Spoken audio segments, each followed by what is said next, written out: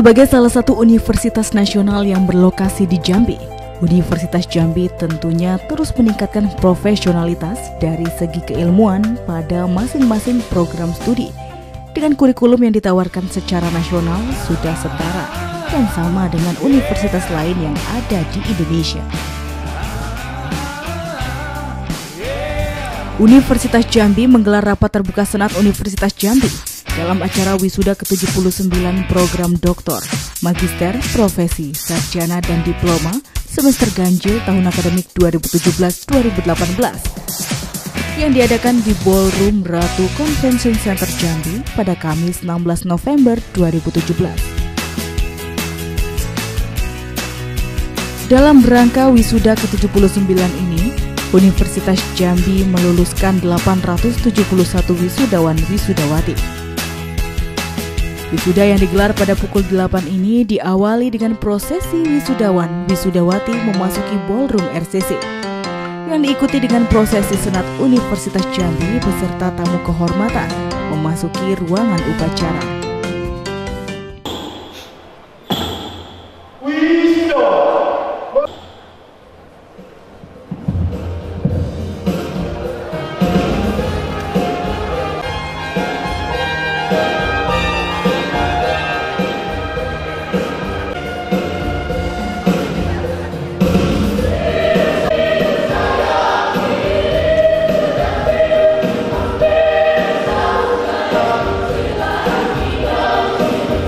Didampingi oleh Rektor Universitas Jambi Profesor Joni Najwan. Tampak hadir pula pimpinan Komisi 10 DPR RI Sultan Adil Hendra dan hadir mewakili Gubernur Jambi staf ahli Gubernur Insinyur Tagor Mulyana Nasution. Begitupun dengan para Dharma Wanita Universitas Jambi yang diketuai oleh Evi Celia Rozana Najwan.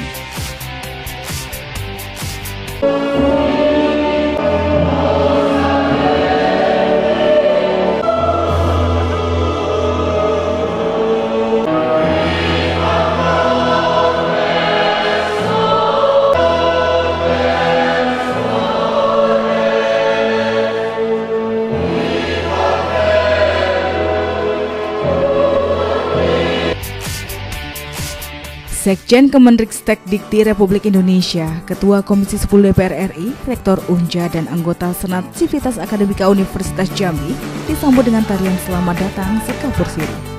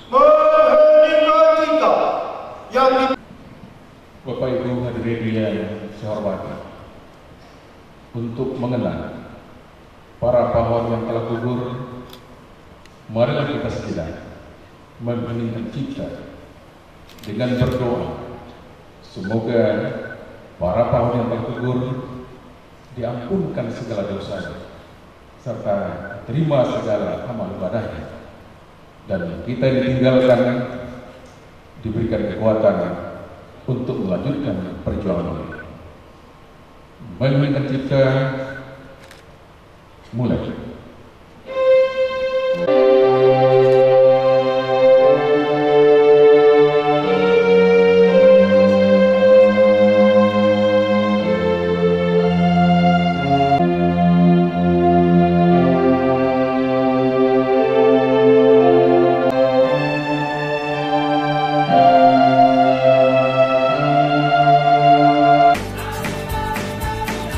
Wisuda dipimpin langsung oleh Rektor Unja Profesor Joni Najwan.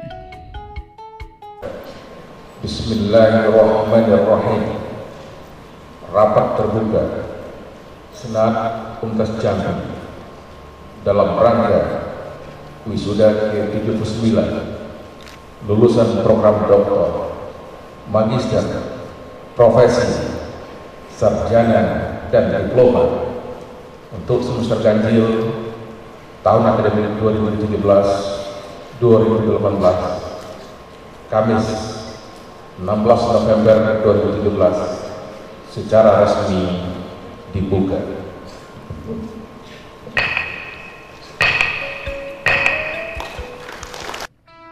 Dalam sambutannya, Profesor Jenny Najwan mengucapkan selamat kepada para wisudawan dan menyampaikan penghargaan yang tinggi atas dedikasi, loyalitas, pengabdian, dan kerja keras kepada para guru besar, senat unja, pimpinan, dosen, dan karyawan yang telah mendidik, mengajar, serta membimbing para lulusan.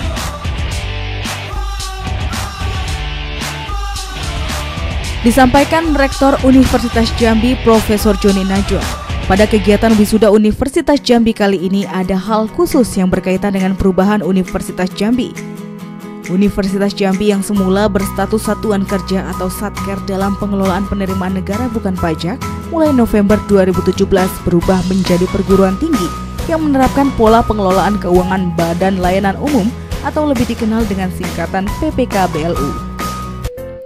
Dengan penerapan PPK BLU tersebut diharapkan Universitas Jambi akan lebih mudah dalam merencanakan peningkatan penerimaan anggaran pendapatannya melalui PNBP serta lebih fleksibel dalam penyusunan rencana penggunaan serta mempertanggungjawabkannya melalui mekanisme keuangan negara sesuai dengan peraturan perundang-undangan yang berlaku. Universitas Jambi pada saat ini telah memiliki 14 fakultas dan satu program pasca sarjana dan menyelenggarakan 88 program studi. dalam hal penjaminan dan pengendalian mutu sesuai dengan standar nasional pendidikan tinggi telah mendapatkan akreditasi institusi dengan nilai akreditasi B. Sejak April 2015 dan saat ini sedang melakukan proses reakreditasi menuju akreditasi. Di samping itu, untuk akreditasi program studi yang ada di terjadi, kita telah memiliki tiga program studi yang mempunyai akreditasi A, yakni program studi ilmu hukum, program studi pendidikan kimia, dan program studi ekonomi pembangunan.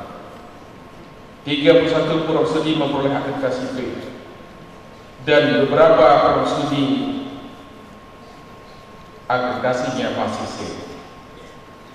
Untuk meningkatkan tanggung jawab para pengelola, baik itu dengan Direktur Program Pasca Sarjana dan terutama Ketua Program Studi. Rektor telah mengeluarkan surat keputusan nomor 510 tanggal 1 Juni 2017 tentang penghargaan dan sanksi terhadap dekan, direktur, dan program studi yang berprestasi.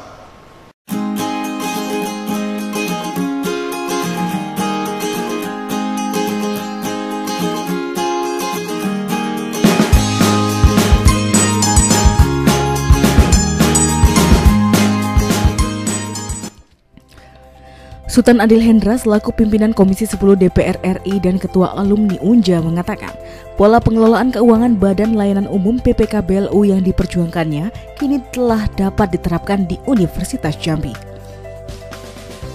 Kontrak itu berakhir. Inilah pesan yang menjadi renungan bagi kita semua di saat wisudawan yang ke-79 ini selain kegembiraan yang ingin kami sampaikan adalah ucapan selamat yang luar biasa terhadap Universitas Jambi atas ditetapkannya status Unja Jambi menjadi Badan Layanan Umum Pendidikan. BLU. Insya Allah dengan status Unja memiliki sesuatu keluasaan dalam mengatur tata kelola kampus untuk meningkatkan mutu dan daya saing serta tridharma perguruan tinggi. Tentu hal ini semua universitas mengharapkan. Semua universitas mengharapkan. Termasuk kita India sudah puluhan tahun berupaya untuk mendapatkan BLU tapi tangan dingin Pak Rektor. Tangan dingin Pak Rektor perlu kita apresiasi sejarah Unja menjadi BLU menatap persaingan global yang saat ini. Tapi jangan lupa ada Pak Rektor, tapi karena ada juga alumninya di pimpinan Komisi 10. Itu jelas itu. Nggak boleh Pulau Pandan jauh di tengah dekat Pulau Suro. Hancur badan kandang tanah, budi baik harus tekanan jiwa.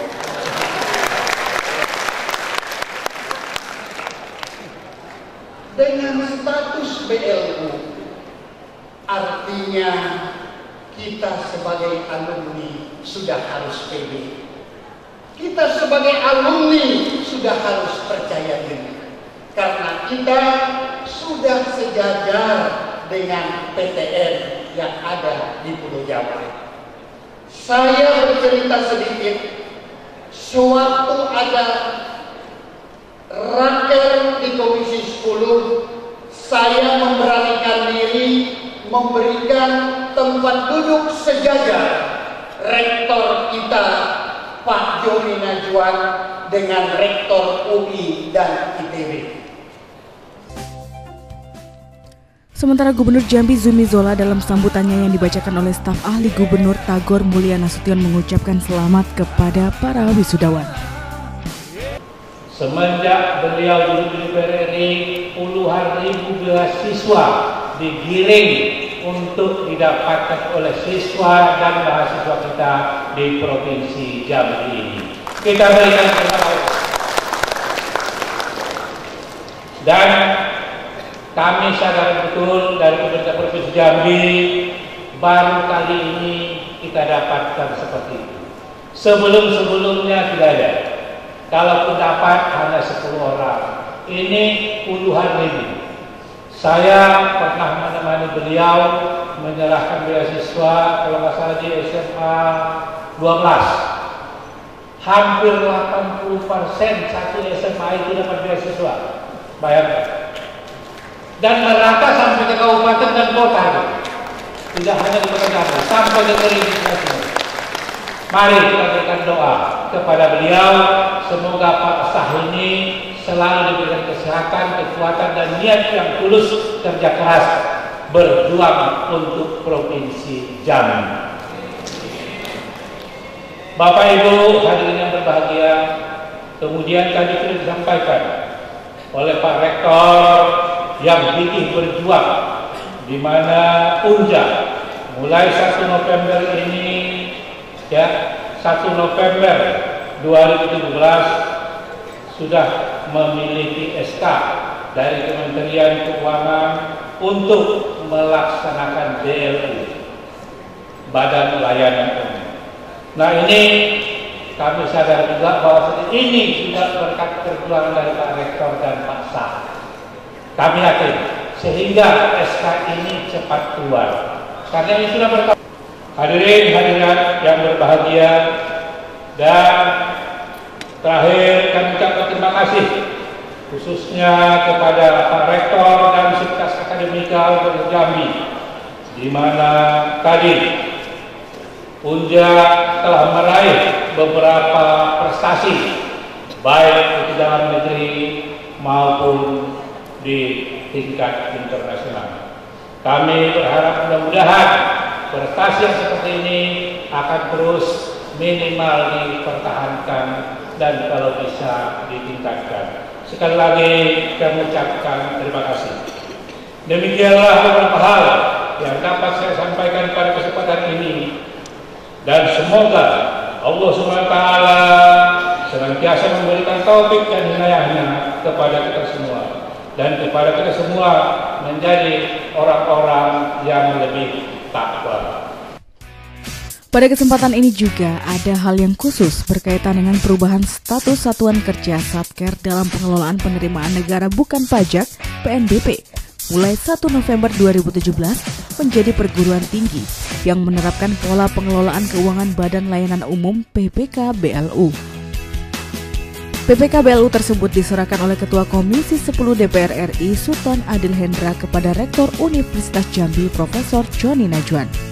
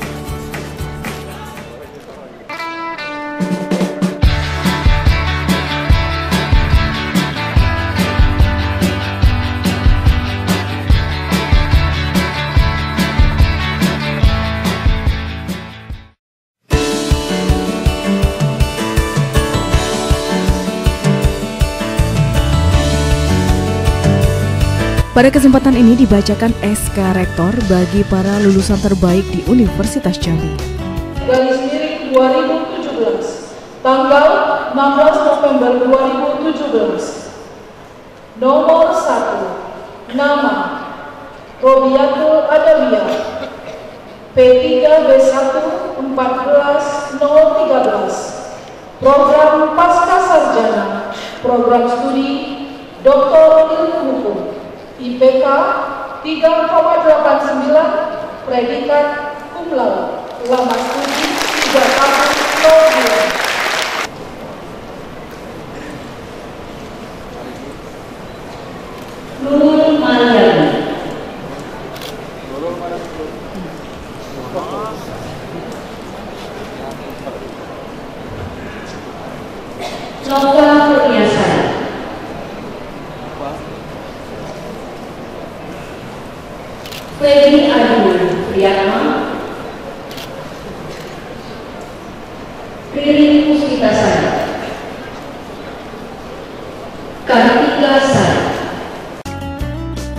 Sebagai bentuk apresiasi terhadap lulusan terbaik, Universitas Jambi juga menyerahkan piagam penghargaan yang diserahkan oleh Rektor Unja. Untuk diketahui, jumlah wisudawan ke-79 ini terdiri dari program Dr. S3 satu orang, Magister S2 99 orang, profesi 37 orang, sarjana S1 619 orang, dan program diploma 115 orang. Sedangkan jumlah peserta wisuda menurut asal fakultas yakni Ekonomi Bisnis 124 orang, Hukum 81 orang, FKIP 221 orang, Pertanian 43 orang, Peternakan 67 orang, dan FKIK 76 orang. Kemudian Fakultas Sains dan Teknologi 57 orang, Ilmu Budaya 15 orang, Fisipol 56 orang, Kehutanan 20 orang, Ilmu Keolahragaan 3 orang, Teknologi Pertanian 8 orang dan Pasca Sarjana 100 orang. Kegiatan dilanjutkan dengan prosesi pemindahan tali toga yang dilakukan oleh Rektor Unja Profesor Joni Najwa, didampingi oleh dekan masing-masing fakultas di Universitas Jambi. Dalam prosesi wisuda ke-79 ini, diluluskan sebanyak 871 wisudawan dan wisudawati.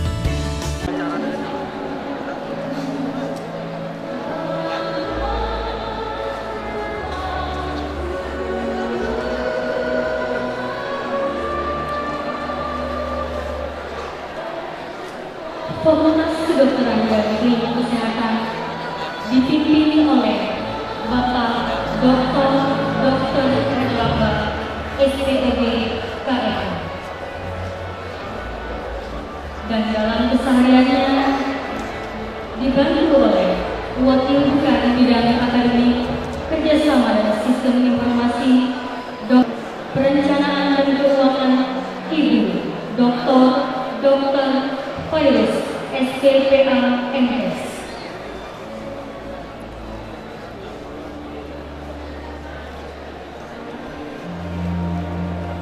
Prosesi wisuda dilanjutkan dengan pernyataan wisuda oleh Rektor Unja Profesor Joni Najwan sebagai tanda resminya para wisudawan ini siap berpindah menjadi bagian dari masyarakat dan mengabdikan ilmu dari perguruan tinggi untuk memajukan bangsa. Sesuai dengan kewenangan yang ada hari ini, Kamis tanggal 16 November 2017, berdasarkan keputusan Rektor Universitas Jambi nomor 2311 garis miring UN 21 garis miring EP garis miring 2017 dengan resmi mewisuda saudara-saudara sebagai lulusan doktor, magister, profesi, sarjana, dan diploma untuk semester ganjil tahun akademik 2017 2018 serta mengembalikan saudara-saudara kepada masyarakat dengan harapan semoga saudara-saudara dapat mengembangkan ilmu yang telah diperoleh dan menyumbangkannya untuk nusa dan bangsa. Perwujudan simbolisasi pelepasan terhadap 871 wisudawan wisudawati di Universitas Jambi ini adalah dilakukannya penaburan beras kunyit oleh Rektor Unja Profesor Jori Najwan. Hal ini sebagai tanda restu dari rektor kepada wisudawan untuk dapat mengabdikan diri di masyarakat. Berkah dokter dan magister ini.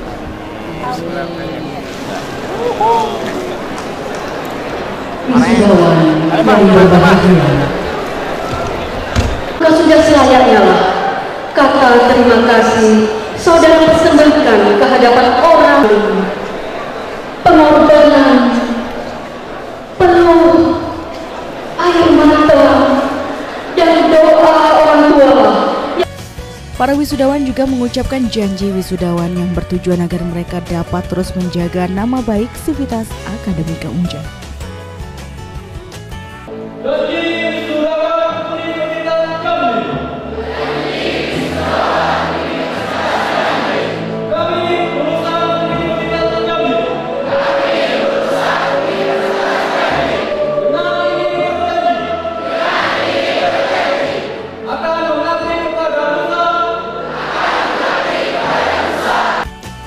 Berbagai pesan terbaik juga disampaikan oleh Rektor Universitas Jambi Profesor Joni Najwan, Ketua Komisi 10 DPR RI Sultan Adil Hendra dan staf ahli Gubernur Jambi kepada para wisudawan yang akan yang telah resmi mengabdikan diri kepada masyarakat Jambi khususnya.